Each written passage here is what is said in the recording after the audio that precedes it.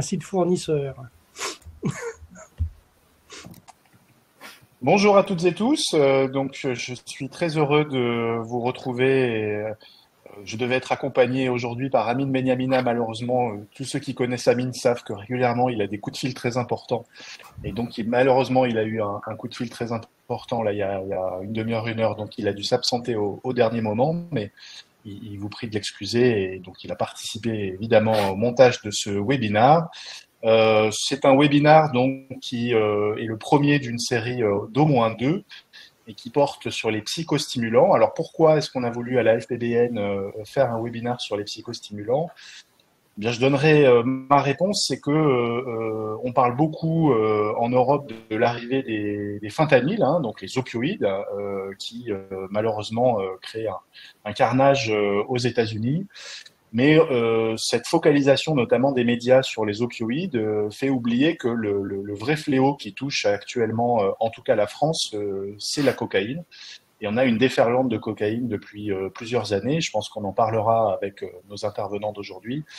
et donc c'est très important que le public, les soignants d'addictologie et de, disciplines qui sont en, en, lien avec l'addictologie, notamment la psychiatrie, connaissent bien ces molécules, ces psychostimulants à la fois leurs effets, leurs usages et puis l'évolution des prises en charge euh, depuis ces dernières années.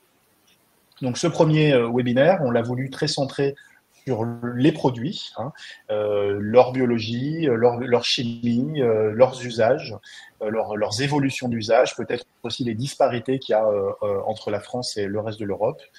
Et donc, on a un panel d'intervenants euh, qui vont nous parler de ça. Voilà, avec euh, d'abord euh, Fabrice Kemlac, qui est professeur de chimie à Paris-Sorbonne et qui va avoir une approche très centrée sur les molécules, leurs actions pharmacologiques, leur subtilité aussi d'action pharmacologique. Et puis, on aura Thomas Nefo, qui est pharmacien et analyste à l'IMCDDA, donc l'Observatoire européen des, des, drogues et des tendances addictives, euh, qui va nous parler plutôt de l'épidémiologie des usages de psychostimulants. On verra qu'il y a des disparités importantes entre les pays européens. On essaiera de comprendre pourquoi il y a ces disparités importantes entre les pays européens. Et puis enfin, euh, ça nous semblait très important euh, d'avoir un point de vue d'usager parce que moi je suis médecin addictologue et donc je rencontre très régulièrement des, usagers de psychostimulants, en particulier de cocaïne. Euh, et c'est vrai que euh, j'ai une culture qui est relativement limitée sur comment on utilise, pourquoi les usagers utilisent tel et tel produit, pourquoi il y a des modes, des cultures, euh, voilà, des, évolutions aussi qui, échappent à, une rationalité scientifique et, biochimique. Et donc, c'est très important qu'on ait ce point de vue. Et donc, je remercie beaucoup Miguel Velasquez, qui est secrétaire général et ancien président de de venir nous parler de ça. Voilà.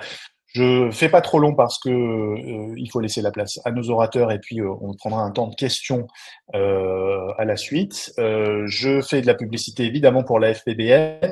Vous êtes plus de 400 inscrits à ce webinaire, donc ça montre le grand succès de cette, association qui est extrêmement dynamique dans différents types de sections et différents types de thématiques autour de la, psychiatrie biologique et la, et la neuropsychopharmacologie. Donc n'hésitez pas à vous inscrire. Vous recevrez, si c'est pas déjà fait, des informations sur tous les webinaires euh, qui sont organisés et puis euh, les autres événements euh, portés par, par la FPBN. Et on voulait faire un petit coup de projecteur sur deux, deux événements sur lesquels le, la FPBN est particulièrement impliqué. D'abord Jazz, donc euh, un, événement que je porte euh, en lien avec la SPBN et l'équipe de Comme to Évidence, donc, qui va être un, un premier euh, congrès d'addictologie du Sud-Est, donc les deux journées d'addictologie du Sud-Est qui auront lieu à Lyon le 7 et 8 octobre prochain. Je vous invite à aller sur le site de la FPBN pour consulter le programme de Jazz, qui est un programme et une approche très originale, très ancrée sur la pratique quotidienne des soignants. Voilà, donc une, offre de formation complémentaire de, des autres grands congrès d'addictologie. Et puis en parlant d'autres grands congrès d'addictologie, euh, je voulais évidemment mettre en lumière le, le congrès de l'Albatros qui va se tenir euh, dans deux semaines euh, à Paris, qui est évidemment l'un des, des, congrès les plus importants, sinon le congrès le plus important d'addictologie en, en, France, qui a lieu tous les ans en, juin.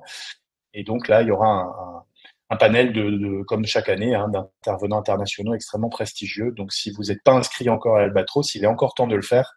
Et c'est toujours une fête euh, de se retrouver en juin euh, à Paris, à côté de la Tour Eiffel. Donc voilà pour ces deux, ces deux événements.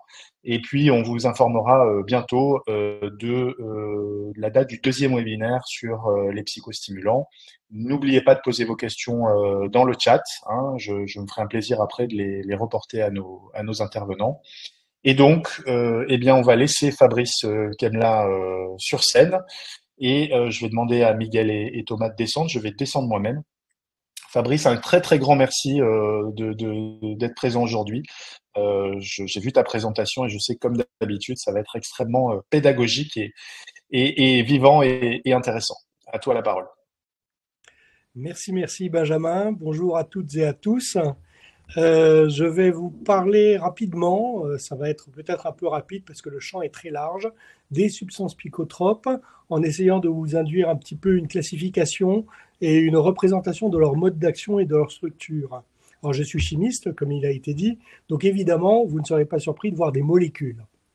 Alors, vous le savez, les substances psychotropes, ce sont des substances qui agissent sur l'état du système nerveux central et qui induisent des modifications de la perception, des sensations, de l'humeur, de la conscience. Et ceci, ça se fait par le biais de la modification de certains processus biochimiques au niveau du cerveau. Alors, met les psychotropes dont nous avons parlé aujourd'hui mettent en jeu en fait trois neurotransmetteurs principaux qui sont la dopamine, que l'on appelle assez euh, souvent la molécule du plaisir, qui est une molécule qui agit sur les systèmes de motivation, de récompense, la régulation de l'humeur et les fonctions cognitives. Et c'est généralement elle qui est responsable des phénomènes d'addiction. La noradrénaline, vous le voyez ici, euh, c'est une structure qui lui ressemble beaucoup, si ce n'est qu'il y a un oxygène à ce niveau-là, qui est plutôt euh, euh, concerné par les phénomènes d'attention et de vigilance et d'excitation. Et enfin, la sérotonine, qui, elle, est généralement appelée hormone du bonheur, qui agit sur la régulation de l'humeur, l'appétit, la libido et énormément sur la gestion de la régulation des émotions. Alors, ces trois neurotransmetteurs se situent, jouent leur rôle au niveau du système nerveux central et j'ai représenté ici euh, le, schéma général de fonctionnement de ces neurotransmetteurs. Ils sont fabriqués par des neurones spécifiques. Vous avez ici deux neurones, d'accord? Et euh, un neurone émetteur va être chargé de la fabrication d'un de ces trois neurotransmetteurs et de, de son stockage dans ce qu'on appelle des véhicules de stockage. A besoin, ces véhicules relibèrent le neurotransmetteur qui traverse la fente synaptique et ce neurotransmetteur peut avoir trois avenirs différents. Le premier avenir, c'est la flèche verte. Il va être capté par un récepteur spécifique et c'est le mode principal puisque c'est ce mode-là qui assure la transmission de, euh, de ce que le neurotransmetteur est, censé euh, transporter. Donc ce mode vert, c'est le mode principal, mais bien évidemment, comme on est en chimie, on n'est pas en informatique, donc on peut avoir des problèmes de dosage. Il y a donc un système de régulation au niveau de la transmission de l'information, et c'est la flèche bleue qui est ici. L'excès de, neurotransmetteurs peut être recapturé par le neurone de départ et par un site spécifique et recyclé de cette manière-là.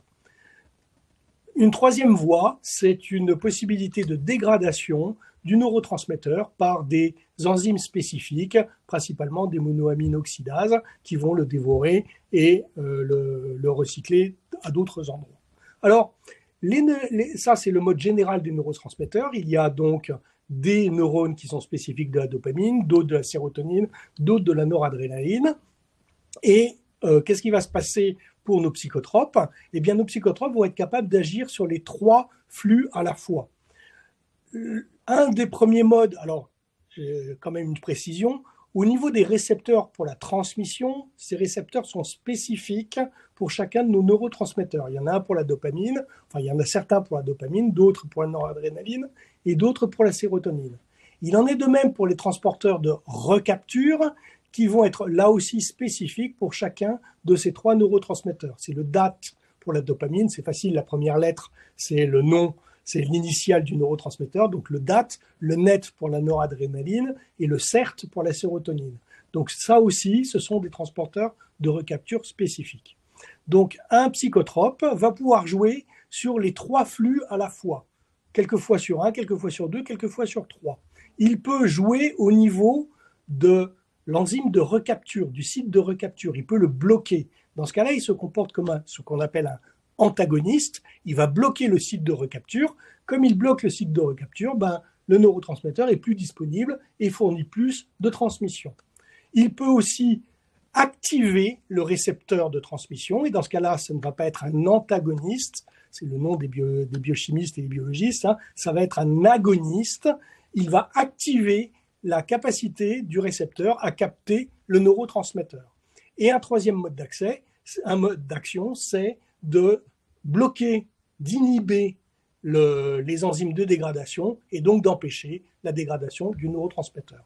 Donc nous allons passer en revue les différentes molécules qui sont des psychotropes, psychotropes excitants qui nous concernent aujourd'hui. Et vous allez voir qu'il faut garder en tête que ça peut agir soit, chacun peut agir soit à ce niveau-là, je l'ai représenté à chaque fois sur les diapos, soit à ce niveau-là, soit quelquefois à ce niveau-là. Alors, de quoi allons-nous parler aujourd'hui? Aujourd'hui, je vous ai mis ici une représentation que j'aime bien, même si elle est un peu ancienne, elle, date de 2015. Vous avez ici, euh, à ce niveau, les références, si vous voulez vous la procurer, c'est très facile à trouver.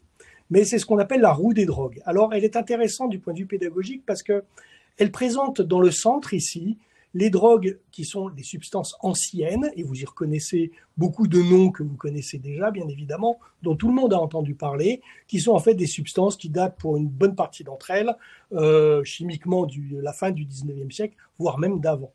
Mais vous avez en périphérie tout ce que l'on appelle les nouveaux produits de synthèse, c'est-à-dire des composés qui sont fabriqués par les chimistes qui s'occupent de ce genre de choses-là, généralement à partir des structures de base qui sont à ce niveau-là.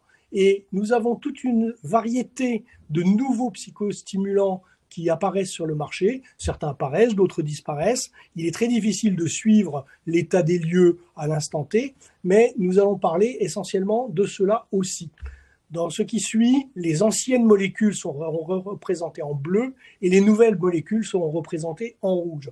Vous verrez, c'est souvent des variations.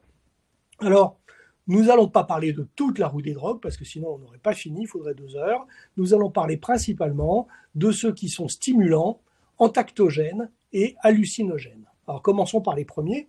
Les stimulants donc vont être capables de fournir une augmentation de l'énergie, accélération du rythme cardiaque, euphorie, excitation sexuelle, avec bien évidemment des inconvénients du type paranoïa, dilatation des pupilles, on s'en fiche un peu, mais paranoïa, anxiété, impuissance sexuelle et surtout des phénomènes d'addiction et de craving, de descente, qui font que euh, généralement celui qui prend cette drogue-là a très envie de recommencer. Alors là-dedans, nous allons trouver un certain nombre de molécules qui sont en premier lieu, on en parlera beaucoup par la suite, euh, mes collègues en parleront beaucoup, c'est la coque, la cocaïne bien sûr, mais aussi nous trouvons dans cette euh, dans cette partie stimulant, les méthylphénidates et bien sûr les amphétamines du type speed ou meth. Alors commençons par la coque. Donc c'est, vous le savez, une euh, substance qui est issue des feuilles de coca, qui est une substance ancienne, hein, parce qu'elle a été identifiée en 1865 et elle est interdite en 1961. Alors c'est une drogue complexe avec une structure compliquée qui fait que, à cause de cette structure compliquée et peu peu susceptibles de modification. Il n'y a pas beaucoup de molécules nouvelles qui font des variations d'effets sur la cocaïne. La seule euh, chose qu'il faut savoir, c'est qu'effectivement, il y a un effet cumulatif avec l'alcool parce que dans le foie, la cocaïne se transforme en cocaéthylène. C'est une simple réaction, pour ceux qui se souviennent de la chimie, c'est une simple réaction de transestérification. Le cocaéthylène étant plus efficace que la cocaïne, mais aussi beaucoup plus dangereux pour le corps. Et on en a entendu parler beaucoup très récemment avec l'affaire Kenji Girac, par exemple. Alors, la cocaïne comme le cocaéthylène sont des inhibiteurs, des transporteurs de recapture des trois euh, neurotransmetteurs que nous avons évoqués tout à l'heure, ce qui fait d'ailleurs toute la puissance. Donc inhibiteur de la recapture de la dopamine, d'où l'effet stimulant fort, et aussi inhibiteur de la sérotonine, d'où l'effet, la sensation de bonheur euh, qui sort de la prise de cocaïne. Donc tous les, les trois récepteurs de recapture qui sont en bleu ici sont concernés. Un autre stimulant très courant que l'on peut rencontrer, ce sont les phénidates. Et les phénidates, et tout particulièrement le méthylphénidate, qui se vend sous le nom de Ritaline, qui a été découvert en 1944. Alors ça, pour le coup, contrairement à la cocaïne, c'est une substance totalement artificielle. Mais vous le voyez, il y a des molécules euh, nouvelles qui apparaissent sur le marché, l'éthylphénidate, le propylphénidate, qui sont en fait des variations de la structure de base avec des variations sur l'oxygène qui est ici. Alors, ce sont des molécules qui sont, eux, uniquement des inhibiteurs des transporteurs de dopamine et de noradrénaline. Donc il ne faut pas en attendre une régulation de l'humeur, mais par contre, il faut en attendre une, euh, régulation effectivement de la motivation, de la récompense, euh, de l'énergie, et c'est d'ailleurs pour cela qu'ils sont utilisés pour le traitement du TDAH. Troisième groupe de molécules auxquelles euh, nous, avons, nous pouvons avoir accès, c'est les amphétamines. Alors les amphétamines, c'est en fait une abréviation hein, du nom chimique qui est alpha-méthylphénéthylamine. La phénéthylamine, c'est la structure en gras qui est ici, d'accord, avec une amine, et le fait que ce soit alpha-méthyl indique la position de ce CH3. Donc ici, ce sont des molécules qui ont été découvertes, qui sont elles aussi totalement artificielles. Elles ont été découvertes en 1914 et vendues en vente libre hein, dans les années 30, très largement utilisées pendant la Seconde Guerre mondiale, mais à cause des phénomènes d'addiction, interdites en 1971. Donc ce sont des inhibiteurs de transporteurs de la de recapture de la dopamine et de la noradrénaline. Donc elles jouent au niveau du site bleu dont nous avons parlé tout à l'heure, mais ce sont aussi des inhibiteurs des monoamines oxydases donc qui bloquent la destruction. Donc elles génèrent une grande euh, quantité de dopamine et de noradrénaline en empêchant la régulation. Alors, il faut savoir que c'est des molécules qui sont très faciles à faire, contrairement à la cocaïne, très faciles à faire puisqu'on fait une synthèse en deux étapes à partir de la pseudoéphédrine, qui est assez facile, euh, dont on peut se procurer facilement des échantillons. Et si vous avez suivi la, la série Breaking Bad, qui est un petit peu ancienne maintenant, mais dans la saison 1, il fabrique, le chimiste fabrique de la méthamphétamine dans son camion, et tout ce que vous pouvez entendre dans cette série-là est parfaitement vrai, chimiquement vrai en tout cas. Donc ça, c'est effectivement quelque chose qui euh, a largement pignon sur rue, ce qui n'est pas le cas de nouveaux stimulants qui apparaissent sur le marché depuis une dizaine d'années, qui sont des dérivés de la catinone la catinone, c'est la substance active dans les feuilles de cat qui se trouve principalement en Éthiopie et qui est très largement consommée dans toute la corne de l'Afrique. C'est resté confidentiel jusqu'à une bonne dizaine d'années et maintenant ça apparaît sur les marchés européens.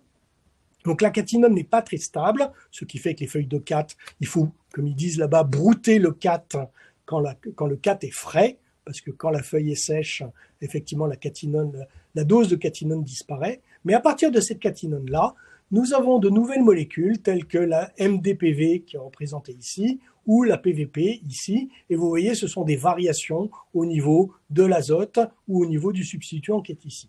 Ces molécules-là, on va en reparler par la suite, elles sont des inhibiteurs de transporteurs de la dopamine, mais aussi de la sérotonine. Donc, ce que l'on obtient par cet effet-là, c'est de l'énergie, mais aussi la sensation de bonheur. Alors, en fonction de la structure de la catinone, on va avoir plutôt l'un ou plutôt l'autre. Les molécules que je vous représente ici sont plutôt des excitants. On va voir tout à l'heure des molécules qui sont plutôt euh, génératrices de bonheur. Alors, ça nous amène directement, en fait, les catinones sont à mi-chemin entre les deux, ça nous ramène directement au deuxième chapitre qui est les molécules, les psychotropes entactogènes. Alors, qu'est-ce qu'ils vont faire cela Ils vont générer la sensation de connectivité, l'envie de connectivité, la compréhension des autres, l'empathie et évidemment des inconvénients de type saute d'humeur, excitation ou dépression en fonction bien sûr des dosages. Alors, c'est des molécules pour ces, pour ces raisons-là, pour cet effet-là, ce sont des molécules qui sont très utilisées dans les milieux festifs. Donc nous allons trouver ici certaines amphétamines, donc la party drug ou l'ectasy que tout le monde connaît par cœur, enfin au moins deux noms. Et nous allons trouver une des drogues euh, beaucoup plus récentes qui ont euh, pignon sur rue maintenant dans les milieux gays, qui sont des catinones du type 3-MMC. Alors commençons par ces amphétamines-là. Nous allons avoir ce qui est appelé la MDA, la party drug, ou la MDMA, l'ectasy. Ce sont des structures de ce type-là, découvertes en 1812 et interdites en 71. Euh, il y a d'autres structures plus récentes qui apparaissent. Ça apparaît, ça disparaît en fonction de l'utilisation qu'en font les, gens qui sont intéressés.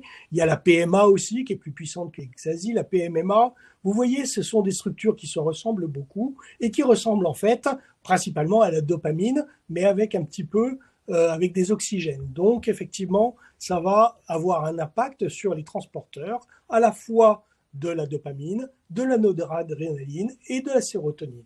Donc là aussi, génération de sensations de plaisir, mais aussi de bonheur. Là aussi, ce sont des molécules qui sont très faciles à faire, en trois étapes principalement, à partir du safrole, qui est la substance active que l'on trouve dans l'huile de sassafras. Et nous allons retrouver aussi, dans cette série-là des antactogènes, les catinones. C'est généralement là qu'elles sont utilisées. Donc, je vous ai parlé au début de la molécule, la 3-MMC. On en a largement entendu parler, pour ceux qui ont des oreilles, lors de l'affaire Pierre Palmade l'an dernier. Mais euh, il y a cette 3-MMC, mais aussi des quantités d'autres molécules qui apparaissent ou disparaissent du marché, qui sont des variations sur le squelette catinone que j'ai représenté en gras à chaque fois. Vous voyez éthylone, pentylone, etc., etc. Ce sont aussi des molécules donc, qui sont apparues très récemment, hein, au début des années 2000, et qui ont été interdites en 2010. Ce sont aussi des transporteurs, des molécules qui sont des inhibiteurs, des transporteurs de recapture de la dopamine, de la noradrénaline et de la sérotonine. Donc là encore, on joue à ce niveau-là. Alors nous allons effectivement changer de mode d'action en parlant de la troisième partie qui sont les psychédéliques. Alors là maintenant, on n'a plus du tout d'effet euh, de, plaisir et de, récompense qui est cherché, c'est plutôt des molécules, des, sensations de bonheur. Donc, on va chercher la sensation de trip, de connexion spirituelle. On parle d'ailleurs pour certaines de drogues antéogènes qui permettent de voir la divinité, exacerbation des sens, hallucination visuelle, auditive, etc., avec quelques petits défauts tout de même, problème de santé mentale, ça peut même aller jusqu'à la dissociation pour certains. Nous allons trouver dans cette euh, troisième partie des phénéthylamines, telles que celle-ci, qui est issue du peyote, ou des tryptamines. Et vous voyez, c'est la, structure tryptamine, c'est la structure qui est en gras ici, qui ressemble en fait beaucoup à la sérotonine. Le LSD, les champignons mexicains et l'ayahuasca. Alors, la première, le peyote, bah, c'est bien évidemment la mescaline, qui est issue du cactus mexicain, le peyote, qui est une vieille drogue de 1894, mais qui euh, a été popularisée dans les années 50 par le livre d'Adlos Huxley, Les portes de la perception. Donc la mescaline, c'est cette structure-là, d'accord euh, Il existe bien sûr, comme elle est relativement simple, euh, des molécules qui sont modifiées et elles sont toutes en rouge. Là, vous voyez, il y en a une quantité. les, celles qui tiennent la route en ce moment, c'est le dragonfly ou le butterfly. Nous avons aussi dans cette série-là le LSD. Et je vois que Benjamin vient d'arriver, donc il faut que j'accepte, il faut que j'accélère. Le LSD, euh, qui joue. Alors le LSD, comme la mescaline tout à l'heure, ne vont plus du tout jouer au niveau de, la recapture, mais par contre vont jouer au niveau de l'accélération, l'activation du récepteur. Donc le LSD. Nous avons aussi la psilocybine ou la psilocine, euh, qui sont connus depuis l'époque des Aztèques. Et pour finir, l'ayahuasca, qui est issue d'une liane euh, amazonienne. Toutes ces molécules-là sont des activateurs des récepteurs sérotoninergiques qui sont à ce niveau-là. Donc, effectivement, avec une sensation de plaisir, de, bonheur et des hallucinations. Alors, il y a d'autres molécules, là, manifestement, j'ai pas le temps, mais je voudrais quand même finir ma, ma communication sur euh, une, une, anticipation. J'ai vu pousser ça sur mon fil Facebook il y a 15 jours. Euh, c'est une publicité pour un film sur la psilocybine et la nature de la conscience. Alors, il y a une résurgence des mouvements New Age actuellement à la faveur des inquiétudes sur, sur le changement climatique. Et on a la réapparition de conceptions mystiques autour de la déesse mère, de Gaïa, etc. Et je pense que dans les années qui viennent, nous allons avoir de plus en plus de besoins de connexion avec la grande mère, comme les molécules que je vous ai montrées juste avant avaient eu leur succès dans les années 70 pour la connexion avec le grand tout. Là, nous changeons de divinité, nous passons à la grande mère. Je vous laisse lire la, publicité. Euh, je n'ai aucune affaire, aucune affaire avec ça, hein, bien sûr, mais je pense que la psilocybine et l'ayahuasca a un bel avenir devant lui Merci de votre attention. Merci beaucoup Fabrice. Donc Avatar comme euh, destin de l'humanité, si je comprends bien la, connexion avec la déesse mère. Euh, et puis merci aussi d'avoir présenté euh, cette vision un petit peu globale des molécules, parce qu'on voit bien que c'est compliqué de, de définir ce qu'est exactement un psychostimulant.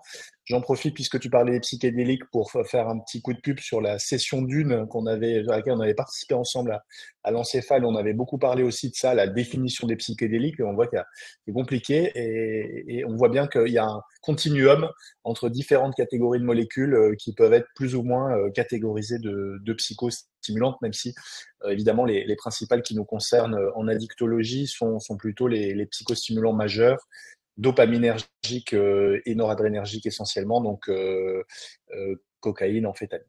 Alors après l'approche très micro, on va complètement changer de, perspective et donc on va avoir une approche beaucoup plus macro. Et je suis ravi donc de passer la parole à Thomas Nefo, donc qui a longtemps travaillé à l'OFDT et qui maintenant est à l'IMCDDA à Lisbonne. Merci Thomas de ta présence aujourd'hui. Je te passe la parole. Merci beaucoup Benjamin. Bonjour à toutes et à tous. Euh, oui, donc je suis analyste à l'EMCDDA, agence européenne euh, qui observe le phénomène des drogues. Euh, et je vais vous présenter donc quelques données sur les usages de psychostimulants en Europe et en France. Et je vais commencer par vous présenter les points essentiels qui ont été présentés dans notre rapport annuel européen cette année. Euh, en ce qui concerne bien sûr les, psychostimulants. Et tout d'abord par dire que la cocaïne et les stimulants synthétiques sont devenus plus importants à plusieurs égards. Euh, notamment, euh, premièrement, la disponibilité de la cocaïne est historiquement élevée, mais aussi la production de cocaïne, le nombre de saisies, les quantités saisies. Et donc, on voit bien qu'on a un marché de la cocaïne vraiment à un niveau historiquement élevé. On a aussi, en ce qui concerne les stimulants euh, synthétiques, une plus grande diversité sur le marché, liée à l'apparition euh, depuis euh, quelques années déjà de, des nouveaux produits de synthèse. Et certains ont été présentés juste, juste avant. Euh, on a aussi une meilleure reconnaissance euh, du rôle joué par les stimulants dans les méfaits liés à l'injection de drogue. Historiquement, l'injection est associée plutôt euh, aux opiacés ou opioïdes, mais on voit, grâce aux, observations et aux études menées, que les stimulants prennent une, place importante aussi dans l'injection. Ensuite, euh, il y a, euh, des signes d'une volatilité accrue sur le marché de la MDMA. Donc, dans les années 2010, euh, on a vu un retour de la, MDMA, notamment sous forme cristal, mais aussi un peu plus tard sous forme de ecstasy, donc les comprimés, avec des, produits plus purs et plus fortement dosés. Euh, on voit aujourd'hui que ça change un peu, qu'on a des, produits sur le marché qui sont euh, substitués ou adultérés avec notamment des, produits de synthèse, mais quand même, il reste euh, sur le marché des produits très fortement dosés avec tous les risques que ça implique. Et puis, on a vu aussi l'augmentation, donc je le disais, avec l'apparition des, stimulants de, synthèse, notamment les catinones on a une augmentation hein, de la disponibilité de ces catinones. Euh, je, détaillerai un peu plus tard dans ma présentation, mais donc voilà, une, augmentation de sa disponibilité, mais aussi plus récemment, on a vu euh, l'apparition, et, notamment par le démantèlement, hein, de, laboratoires de production de catinones synthétiques dans l'Union européenne, alors que euh, avant les, catinones et, et les à peu près tous les nouveaux produits de synthèse avaient pour provenance euh, la Chine ou l'Inde. Donc maintenant, je vais passer euh, par substance et commencer par la, cocaïne, vous donner quelques données euh, sur l'usage de cocaïne. ici, vous avez les, prévalences d'usage sur, ces cartes, les prévalences d'usage de la cocaïne en Europe. Donc, c'est l'usage au cours de l'année passée. Donc, il y a près de 2,3 millions de jeunes de 15 à 34 ans, ce qui représente 2,3% de ce groupe d'âge, qui ont consommé de la cocaïne au cours de l'année passée. Donc, vous pouvez voir sur, la, sur ces cartes, donc c'est la carte de, gauche. À droite, vous avez la tranche d'âge euh, plus, plus grande de 15-64 ans. Vous voyez que donc euh, les, prévalences d'usage sont moindres euh, puisqu'on a des, populations plus âgées, donc peut-être moins enclins à consommer de la cocaïne. vous pouvez voir aussi sur ces, sur ces cartes euh, une différence entre les, différents pays de l'Union européenne et on peut voir que les prévalences d'usage les plus importantes pour la, cocaïne concernent plutôt les pays de l'Europe de l'Ouest, avec notamment les Pays-Bas, l'Irlande, mais aussi la Belgique, l'Espagne, la France, l'Allemagne, euh, les pays nordiques. Euh, voilà. Et sur 11 pays où on a pu comparer entre deux études de, entre deux enquêtes différentes, euh, sur 11 pays, on voit que les prévalences sont en augmentation dans 5 pays, stables dans 5 autres et diminuent dans un pays. Donc on voit quand même qu'on a plutôt une tendance à l'augmentation de la consommation de cocaïne. Euh, ici, sur cette diapo, vous avez les résultats d'une étude qui est euh, donc l'analyse des résidus de drogue ou métabolites dans les eaux usées et alors qui ne donne pas des, données de prévalence d'usage, mais plutôt euh, des données sur les quantités qui vont être consommées dans certaines villes européennes. Et donc, vous pouvez voir, donc, encore sur cette carte, vous pouvez voir que les quantités qui ont été retrouvées dans les eaux usées sont plus importantes dans les pays de l'Europe de l'Ouest. Et notamment, on voit les, gros points rouges là au niveau des Pays-Bas et de la Belgique. Sur cette carte, vous pouvez voir aussi euh, à travers les couleurs les, variations entre euh, l'année 2022 et l'année 2021. Euh, donc, dans les, sur cette même étude d'analyse des eaux usées. vous pouvez voir qu'en rouge, c'est les villes où les quantités retrouvées ont augmenté. Donc, on voit hein, quand même qu'il y a beaucoup de points rouges, donc on a quand même une tendance à une augmentation. Alors, il n'y avait pas de données pour, euh, la, France, et notamment pour Paris en 2022, euh, mais Paris euh, participe à cette étude depuis 2011 et a repris et a refait l'étude en 2023. Et vous pouvez voir donc sur ce graphique les données entre 2011 et 2023. Et vous voyez que sur Paris, les quantités qui ont été retrouvées sont aussi en augmentation.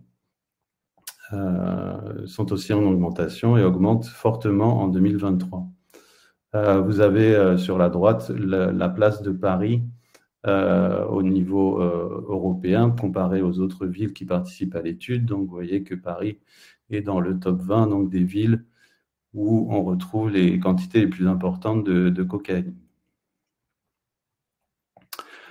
En ce qui concerne les données de prévalence d'usage, euh, ici sont les données donc, euh, de, l'OFDT euh, qui viennent de l'étude du baromètre santé hein, menée par Santé publique France et l'OFDT pour les questions de drogue. vous voyez que sur, en population générale, sur une tranche d'âge de 11 à 75 ans, on a 2,1 millions d'expérimentateurs de cocaïne. Donc expérimentateurs signifie qu'ils ont consommé au moins une fois au cours de la vie. Euh, pour des usages plus réguliers, on va regarder au cours de l'année précédente ou au cours du mois précédent. Et vous voyez qu'on a euh, un nombre quand même plus, plus faible, donc 600 000 usagers qui ont déclaré avoir euh, consommé de la, de la cocaïne au cours de l'année. On voit qu'il y a une différence de, entre les hommes et les femmes. On a deux à trois fois plus d'hommes que de femmes qui déclarent avoir consommé de la cocaïne au cours de l'année. Ensuite, si on regarde par tranche d'âge, vous voyez que chez les jeunes euh, de 17 ans, là, euh, c'est la donnée d'expérimentation, donc c'est au moins une fois au cours de, la vie. 1,4% euh, déclarent avoir consommé donc de la cocaïne et on a déjà une différence entre les garçons et les filles ici où les, garçons euh, déclarent avoir plus avoir consommé que, que, les filles. Ensuite, si on regarde les tranches d'âge, donc 18-25 ans euh, pour l'usage dans l'année, on est à 2,8% qui déclarent avoir consommé dans l'année et on a 3,4% pour la, tranche d'âge 26-34 ans. Donc on voit qu'on avance dans l'âge, on a peut-être un usage euh, plus, euh, on a une population qui va consommer un peu plus de cocaïne. Ce qui est intéressant, c'est de voir sur la population générale, l'expérimentation, euh, sur la tranche d'âge 18-64 ans, que entre l'étude qui avait été menée en, l'enquête qui avait été menée en 1995 et celle de 2017, il y a une multiplication par 4 euh, du, de la déclaration donc d'expérimentation.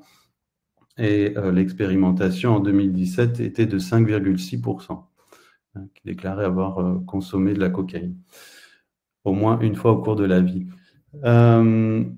J'ai mis aussi sur cette diapo le, recours aux soins, qui peut être aussi un indicateur euh, des, tendances par rapport à, l'usage de cocaïne. Et on voit qu'il y a une nette augmentation de la demande de traitement euh, pour la, consommation de cocaïne entre 2015 et 2019, que ce soit la cocaïne chlorhydrate, donc celle qui est plus répandue et, usage de, de, sniff ou injection. Donc on voit qu'on a une augmentation de 10 à 18 et la cocaïne base, plus communément appelée crack ou freebase, euh, on voit aussi qu'il y a une augmentation euh, dans les demandes de traitement.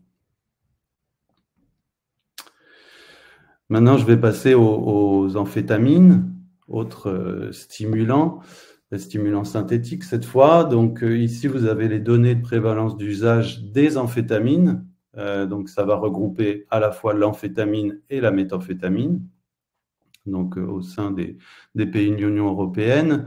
Euh, il y a euh, donc des enquêtes qui ont été menées, alors ça dépend des pays, entre 2016 et 2022. ces enquêtes montrent qu'il y a 1,3 million de jeunes adultes, donc de 15 à 34 ans, qui ont consommé des amphétamines au cours de l'année, soit 1,3% de ce groupe d'âge. Donc on est quand même en deçà de, la consommation de cocaïne. Euh, et vous voyez ici sur ces cartes la différence par rapport euh, aux pays qui montrent les prévalences d'usage plus élevées pour la cocaïne. Ici, euh, qui, étaient les, pays plutôt d'Europe de l'Ouest. On voit ici sur les, prévalences d'usage de consommation d'amphétamines que ce sont plutôt les pays d'Europe centrale ou d'Europe de l'Est. et puis aussi la Finlande euh, et l'Estonie au nord.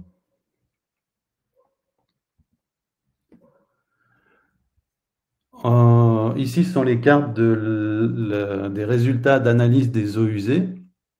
Et vous pouvez voir aussi, donc, à travers les, quantités euh, relevées de, méthamphétamine et d'amphétamine, que ce sont aussi dans les pays plutôt d'Europe centrale et d'Europe du Nord, à l'exception euh, pour l'amphétamine donc de, la Belgique et des Pays-Bas, mais euh, on peut voir euh, donc ce sont plutôt les pays d'Europe centrale et du Nord qui montrent des, quantités plus importantes.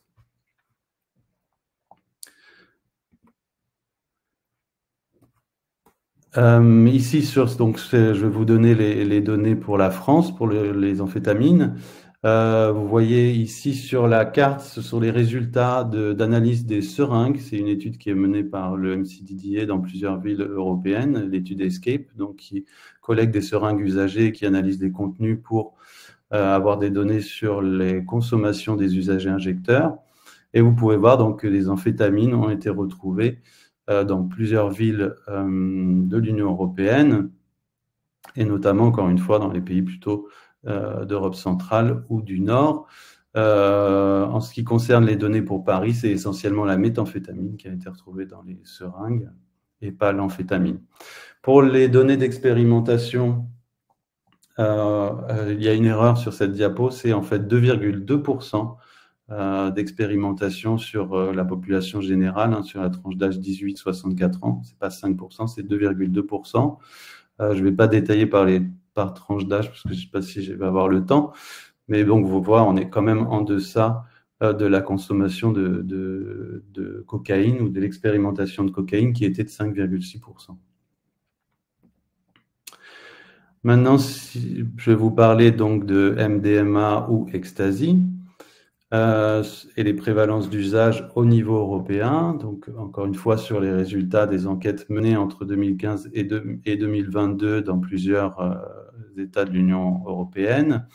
la consommation au cours de l'année écoulée pour la tranche d'âge 15-34 ans concerne 1,8 million de personnes, soit 1,8% de ce groupe d'âge, donc un peu plus élevé que pour l'amphétamine, et quand même 2% de la tranche d'âge 15-24 ans, soit 0,9 millions des 15-24 euh, ans. Et ici, vous voyez aussi que euh, la consommation de DMA ecstasy est un peu plus importante dans les pays d'Europe de l'Ouest que les pays d'Europe centrale et du Nord.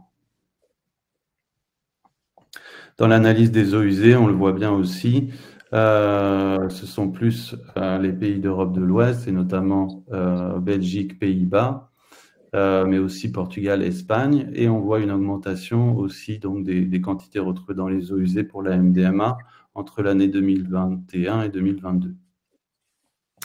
Pour la France, encore une fois, dans l'analyse des eaux usées, donc depuis 2011, on voit bien l'augmentation des quantités de MDMA retrouvés dans les eaux usées, ce qui euh, indique une, augmentation, euh, ce qui peut indiquer une augmentation de la consommation. Et euh, la, Paris se place comme dans le top 10 des, des, villes en Europe où on retrouve les quantités les plus importantes de MDMA dans les eaux usées. En ce qui concerne l'expérimentation qui ont été euh, observés euh, par l'enquête euh, baromètre santé. donc on voit donc des 18-64 ans, on a à 5%, donc un peu en deçà de la, de la cocaïne, mais avec des, des valeurs quasi similaires donc par rapport à l'expérimentation de cocaïne sur la même tranche d'âge.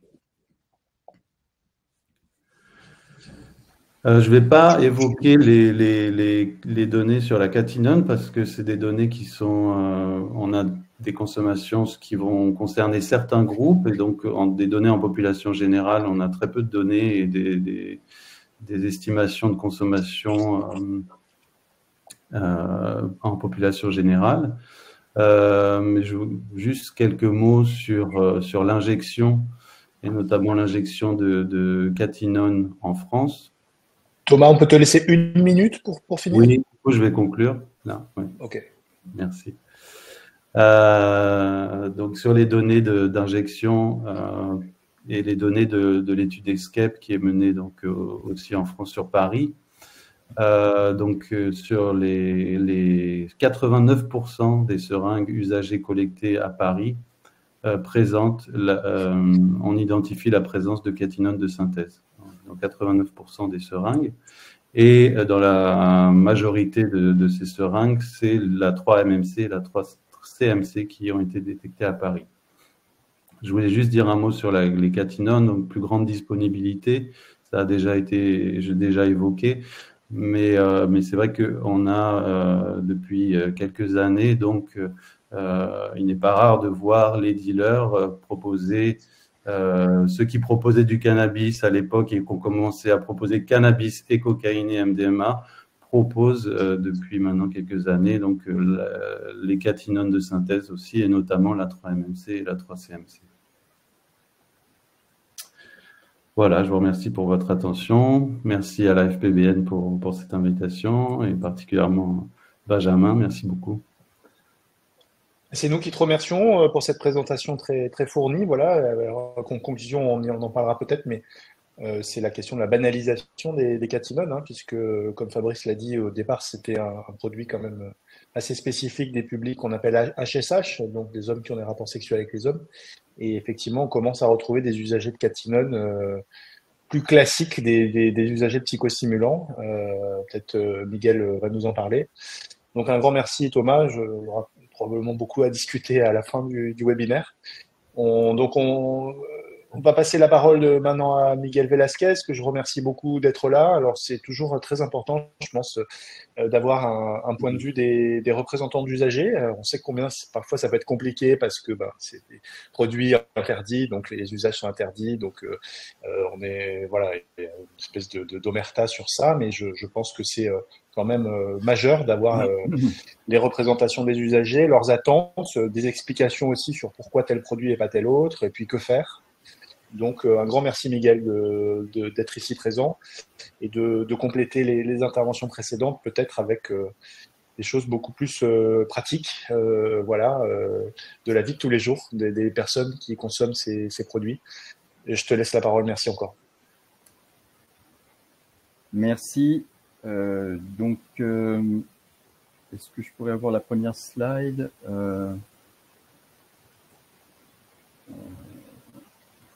voilà.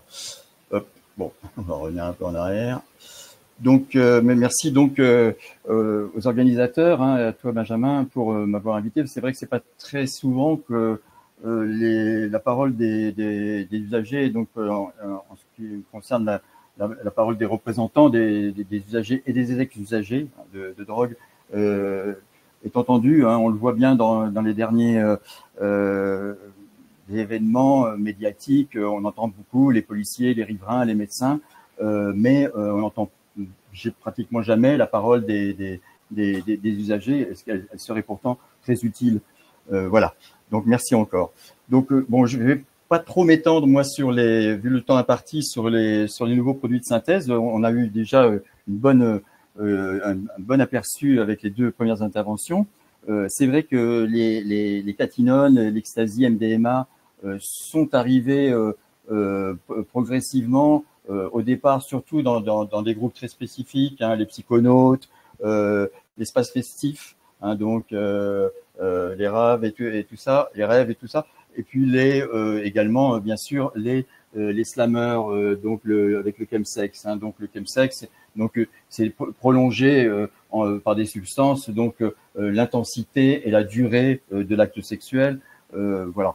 Et donc c'est vrai que c'était euh, mm, pendant mm, très longtemps, ça a été euh, circonscrit à, à, cet espace-là, euh, avec d'ailleurs toutes les dérives, parce que en ce qui concerne euh, les, le chemsex, c'est-à-dire que ces personnes ne, se voyaient pas comme des usagers de drogue, donc n'appliquaient pas toutes les consignes de, réduction des risques qui sont maintenant bien ancrées dans la communauté des usagers de drogue et, et, ex-usagers bien sûr.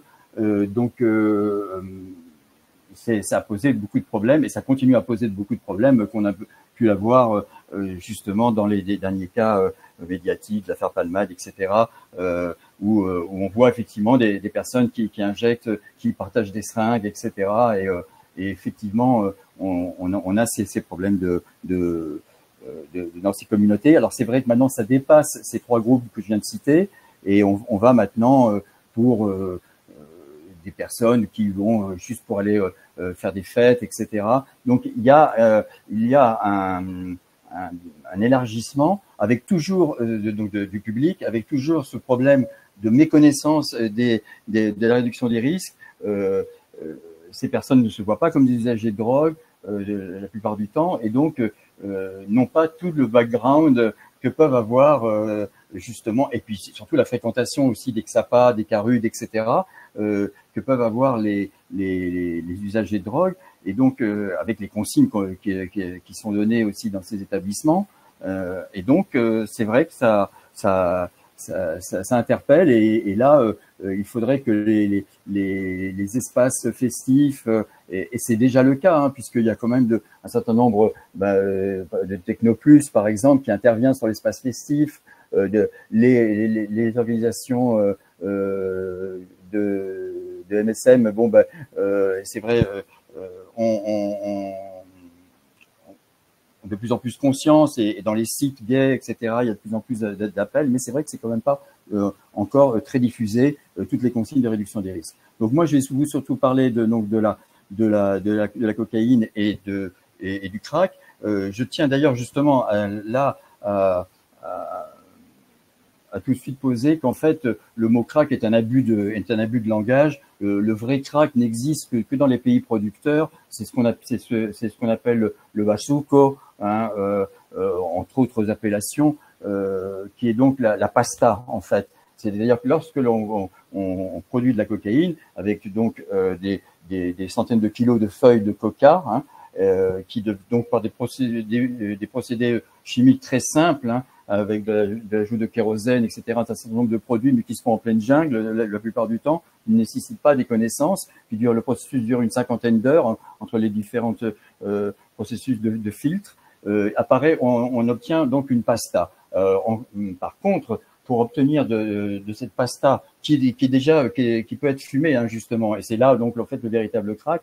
Euh, euh, eh bien, on peut obtenir de, euh, de la de la cocaïne, donc du, chlorhydrate, un sel donc, mais là ça nécessite des instruments un peu plus élaborés, des connaissances un peu plus élaborées qui sont faites aussi parfois en pleine jungle, mais avec des installations déjà beaucoup plus performantes. donc c'est vrai que la, la, la, cocaïne est arrivée en, en, France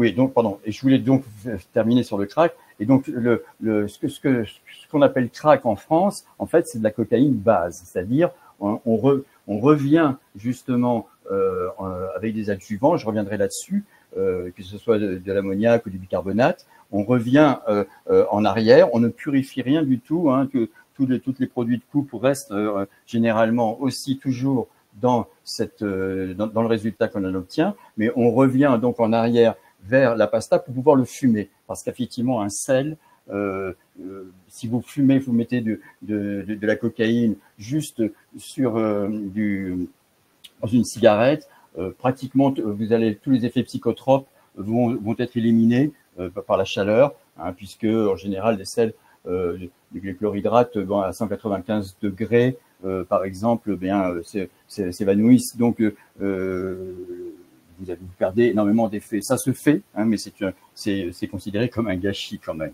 Donc voilà, et pour, pouvoir fumer donc de la, de, de, la cocaïne, il faut revenir euh, un, peu en arrière dans le processus et donc revenir vers la pasta, c'est ce qu'on appelle le crack. Et donc euh, bon, on pourra voir aussi comment euh, procéder à cela. Donc c'est vrai que on a cette, cette, cet engouement les, ces derniers temps. Il faut quand même effectivement modérer toute la toute la, on, a des augmentations effectivement euh, euh, importantes, hein, de, aussi bien des saisies euh, que des consommateurs. On l'a vu avec les derniers chiffres aussi des hospitalisations, etc. Donc le problème est là, il est, il, n'est pas à nier. La, la, position d'Assud, en, en, l'occurrence, est que la prohibition des drogues justement fomente toute, cette, toute cette augmentation. Comment ça la fomente? Eh bien, tout simplement pour, être pour ne pas s'étendre sur le sujet, elle la, elle, la fomente dans la mesure où elle consacre 10% à la prévention et 90% à la répression. Bon, voilà. Et qu'il n'y a, a, pas énormément plus d'argent disponible. Et donc, c'est ce déséquilibre énorme qu'il y a entre prévention et, euh, et, et, répression fait que euh, on assiste effectivement à ces, euh, à ces débordements. Et puis, bien sûr, il y a les stratégies euh, des, des, cartels euh, qui sont arrivés en France, enfin en Europe, lorsque le marché, à peu près dans les années 2000, s'est saturé, euh, le, marché américain euh, s'est saturé, eh bien, ils, ils ont décidé d'aller vers l'Europe. Mais il ne faut pas non plus tomber dans la, dans la, dans l'idée que l'offre va, tout faire. Hein. On l'a vu avec la, la méthamphétamine, par exemple, on nous prédisait, parce que ça faisait des ravages aux États-Unis, on nous prédisait la même chose en Europe. Or, l'arrivée des méthamphétamines euh, en tout cas en France. C'est vrai que dans les pays nordiques, euh, elle a été, elle, est plus présente, euh, mais en tout cas en ce qui concerne la France, il y a des questions de d'appétence. les, les amphétamines en général n'ont pas eu que n'ont pas l'histoire qu'elles ont par exemple en Asie où il y a eu une appétence très forte de, de pour les pour les produits stimulants de type amphétamine qui qui, qui en France, bon, ça, reste quand même euh, des usages, même si effectivement les nouveaux produits de synthèse euh, euh, tendent à développer. Et c'est surtout, d'ailleurs, il y a deux choses qui, est, enfin, il y a une, chose surtout qui est depuis à peu près les années 2010, euh, qui c'est la vente par internet et la vente justement sur les sur la par les réseaux sociaux et, et la livraison à domicile. Hein, ça, ça qui, qui, a été boosté par le par le, par le Covid, effectivement devant le danger, enfin, et l'impossibilité plutôt durant le Covid de pouvoir distribuer cette, tous les produits illégaux normalement, c'est-à-dire soit sur les points de deal, soit bon, bah, ou même les, rendez-vous chez les dealers, etc.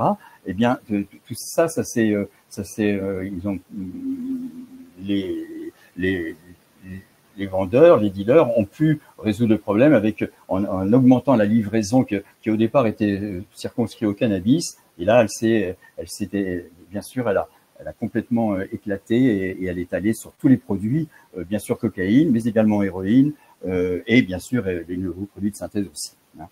Donc, tout, les, les, narcos vont donc, à partir des années 2000, baisser leur prix. Les, les, les, revendeurs en France également. Euh, c'est-à-dire qu'ils vont baisser leur marge légèrement, euh, mais ils vont compenser cette, euh, baisse de leur marge par rapport au prix, car on peut constater une chose, c'est que les prix ont été tout à fait constants pratiquement depuis les années on peut dire depuis les années 2010, ça, a été, c'est des prix constants et on va, pouvoir juste les voir ici. Mais on a une euh, autant on a une, à peu près une constance des prix, mais on a par contre une augmentation des teneurs. On est passé de teneurs de 43% à des teneurs de 70%, voire même de 90%. Il n'est pas rare, en tout cas, euh, de, trouver des, cocaïnes extrêmement dosées. Alors, pour revenir à, la, cocaïne et au crack, le problème du crack et, donc de la cocaïne basée, hein, on, va, donc l'appeler comme ça maintenant, euh, de la base est venu à peu près dans les années 90 des Antilles. Il y a une communauté euh, d'Antillais qui ont commencé à, donc à, qui était donc euh, installés à Paris. C'est donc un phénomène exclusivement parisien depuis 30 ans qui dure.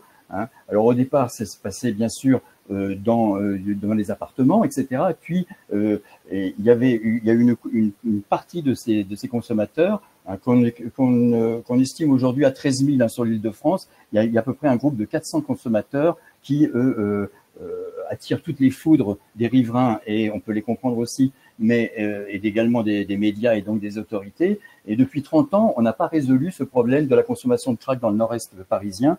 C'est justement le, le, là, le, vous voyez sur le, la slide le mur de la honte. C'est un film qu'on a fait avec euh, à Sud euh, Input, le réseau international des, des usagers euh, de drogue et euh, de Drug Reporter, et sur la consommation de crack depuis 30 ans, hein, donc sur, sur, Paris, qui, qui n'a pas été résolu jusqu'à présent. Alors, Miguel, oui.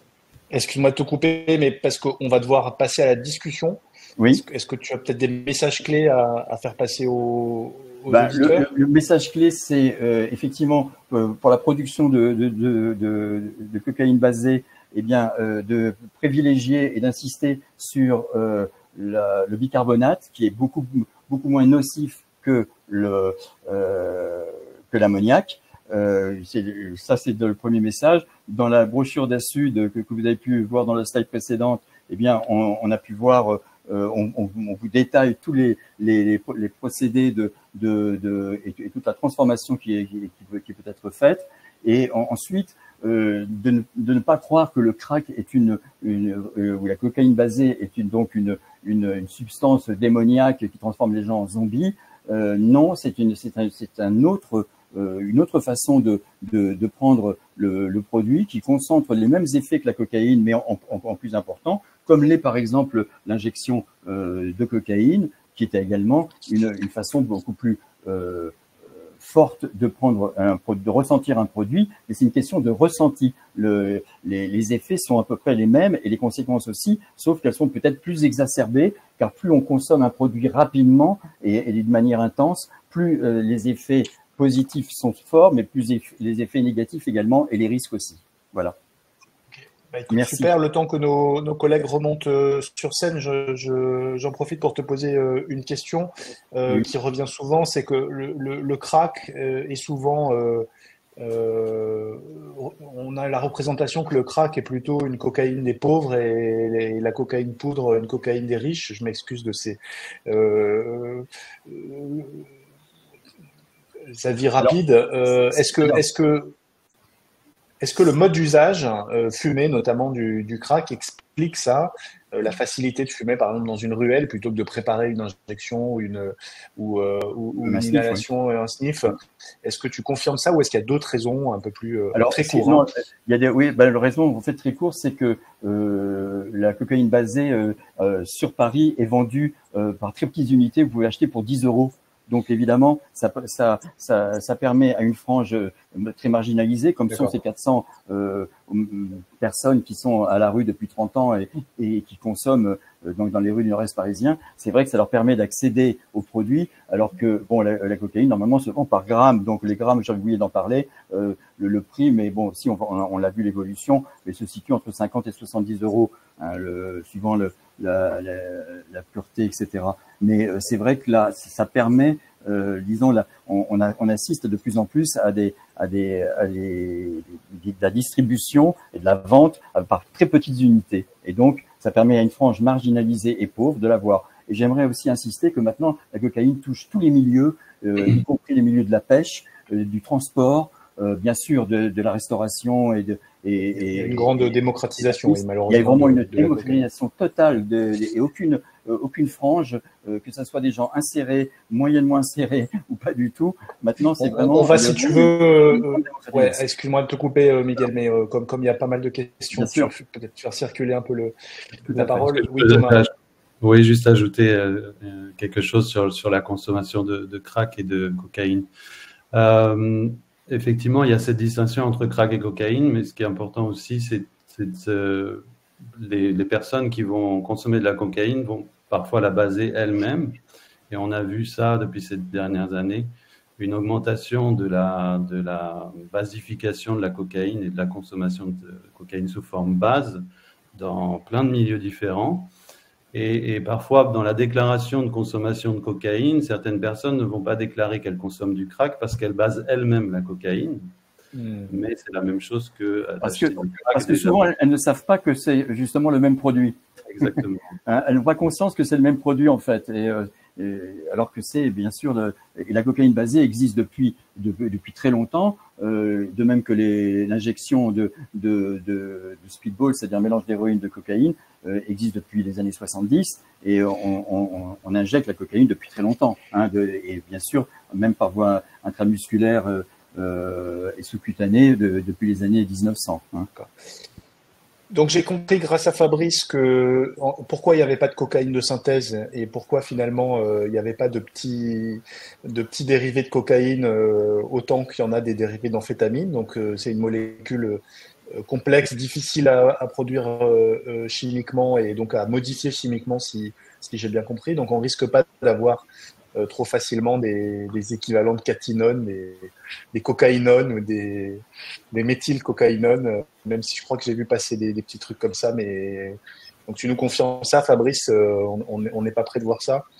Oh, c'est pas qu'on n'est pas, pas demandé si tu avais un, un, un, petit bus dans ton jardin d'ailleurs, mais non, je, dirais, de...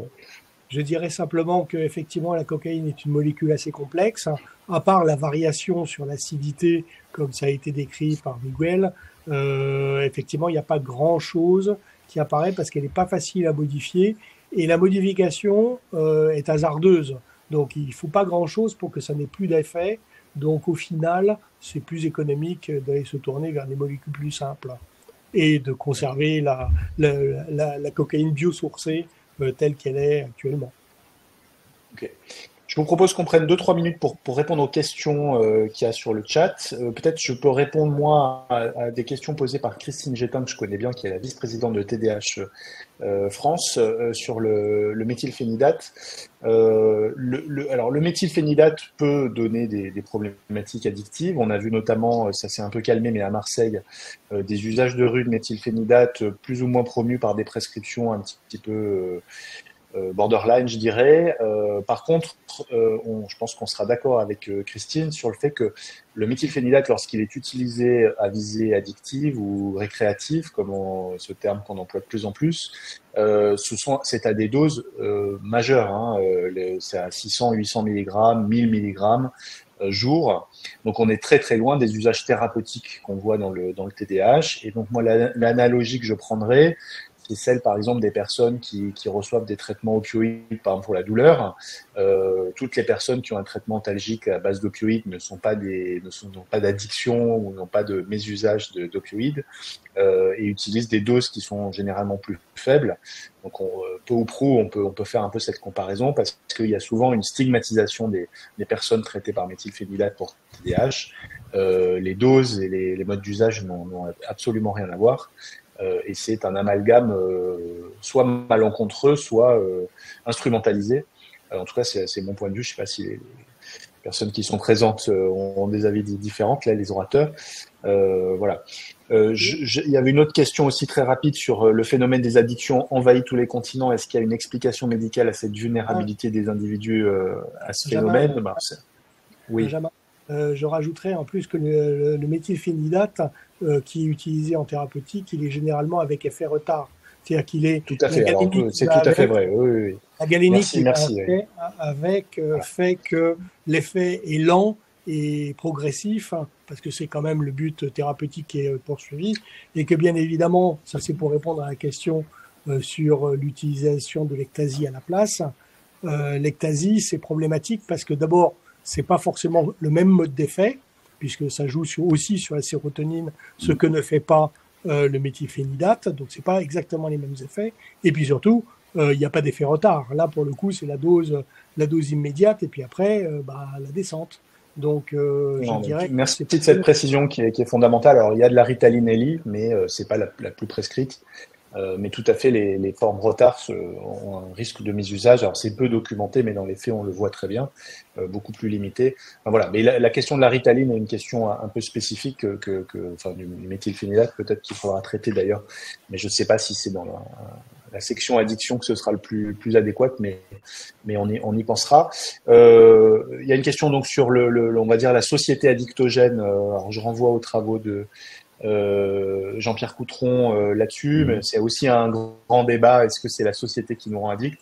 Euh, Moi, je pense que c'est intéressant comme, comme réflexion, mais qu'il y a aussi des contre-exemples. Hein. On voit que, par exemple, le, en Russie, le, le, taux d'addiction à l'alcool a beaucoup chuté depuis la, la chute de, de l'URSS. Il paraît que l'URSS n'était pas la société la plus capitaliste de, de, de l'histoire. Voilà. Ben, en tout cas, c'est là, on, ce serait un, un, sujet en soi, mais, mais on, on notera pour les futurs. Euh, je, te propose qu'on avance sur les questions auxquelles euh, les gens peuvent répondre. Je peux juste rajouter que à, Cincinnati, euh, en 1902, il y avait 10 000 personnes addictes hein, à la cocaïne pour une population de 325 000 habitants. et il y avait 200 000 addicts aux, USA dans les années 1900 hein, à la cocaïne. Donc voilà, on était dans une autre type de société pourtant. Tout à fait. Oui, oui, je suis pas sûr qu'il y a un siècle, on était euh, dans moins, moins de, de capitalisme et de société consumériste. Non, ça c'est sûr. mais il faudra refaire un, tout, tout, un webinaire là-dessus parce qu'il y a, à mon avis, beaucoup de choses à dire. La voie fumée est-elle plus à risque sur le plan du renforcement et du potentiel de développement d'une addiction que la voie injectée? Grand débat. Euh, aussi. Euh, non, je pense que la voie, la voie fumée est moins addictive que la, que la, que, que la, que la voie injectée quand même. Alors après, parce que dans la voie fumée, il y a quand même, euh, chose que je n'ai pas détaillée, on peut fumer en deux heures où effectivement là, la dose euh, de, de, cocaïne basée arrive d'un seul coup. Et on peut fumer aussi, chasser le dragon sur du papier d'alu, de préférence donné par les carutes qui sont, euh, qui sont moins nocifs.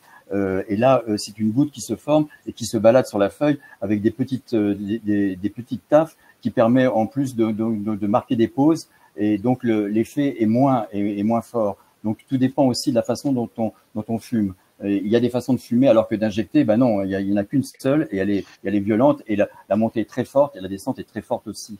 Donc euh, moi je dirais que c'est plus addictogène et, et, et, ça fait surtout plus de dégâts avec des dangers de VIH, VHC euh, abcès, etc. qui se posent. Et, et, C'est très frustrant, mais on va devoir conclure. Je suis désolé.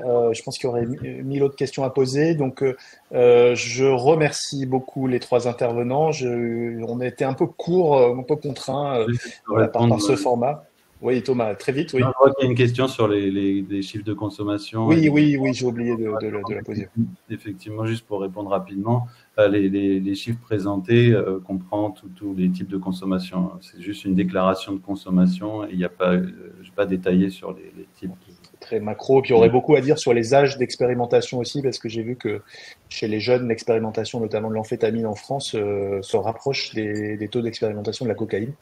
Donc, euh, enfin, j'ai vu ça passer très vite, mais ça, aurait nécessité aussi euh, plus de discussion. On va conclure. Merci encore à tous les trois. Donc, je répète très vite en introduction. Rendez-vous en septembre pour le deuxième webinaire qui sera plus consacré aux prises en charge, mais on fera peut-être aussi, on discutera peut-être aussi à nouveau des, modalités d'usage et de préparation des, produits. Et puis, euh, je euh, vous invite à, aller sur le site de la FPBN pour voir tous les webinaires des autres sections. Et je fais un petit rappel, hein, euh, si c'est moi qui ai la main, sur les deux euh, prochains événements auxquels la FEBN est, est associée. Euh, le congrès de l'Albatros qui a lieu dans 15 jours à Paris, donc il est encore temps de, vous inscrire, un grand rendez-vous de la dictologie nationale. Et puis donc ce nouveau congrès organisé par la FPBN à Lyon, la section addiction de la FPBN, Jazz, les deux journées d'addictologie du Sud-Est, très ancrées sur les échanges interdisciplinaires et puis sur la pratique quotidienne des soignants. Donc on accueillera tous les soignants, infirmiers, psychologues, médecins, euh, etc., pour des pratiques autour de, de, toutes ces, euh, euh, de toutes ces professions. Je vous remercie beaucoup encore une fois. Je remercie nos intervenants et on vous dit à très bientôt pour un nouveau webinaire de la FPBN. Au revoir. Au revoir. Merci. Au revoir. Merci, au revoir.